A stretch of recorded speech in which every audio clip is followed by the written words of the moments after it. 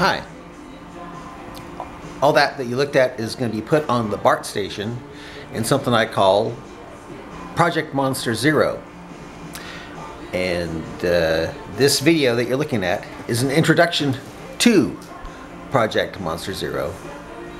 Uh, its uh, introduction to lets you know that the videos and writings that you're seeing on this DVD are uh, stuff that will expose Islam if uh, uploaded to YouTube, LiveLeak, Dailymotion, and other video uh, sites. Uh, I'm hoping that when you uh, get a hold of this CD, that you will see the videos and upload them to those sites I just mentioned.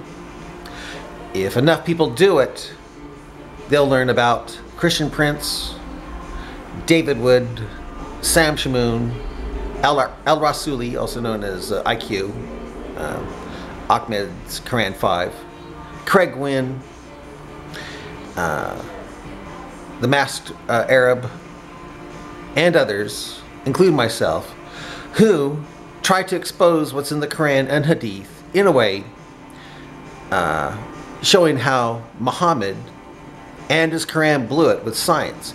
And in the process, help bring down Islam. If enough of these CDs that I'll be putting on BART trains are uh, examined and then uploaded with the videos that are on them. Uh, if you can, change the names of the titles that you'll see here. If it's a David Wood video or a Christian Prince video or even my videos, um, you can just change the title and that way uh, they won't just keep on, you know, showing there. They'll be flooded is what comes down to it. And if enough people learn how the Quran blew it with science, teaching uh, that uh, meteors burning up in the Earth's atmosphere are little stars burning, little little stars chasing Satan away from spying on all in his heaven.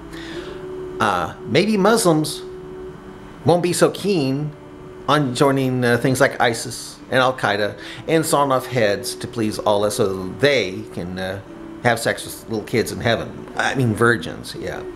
So, or, uh, or so they won't uh, try to put the, the jizya tax on us, the extortion tax, known as jizya which under ISIS was 85% of what a Christian earned in his in his wages to keep from getting killed. So anyway, this is what this whole thing is about. This CD that I'll be placing on BART trains.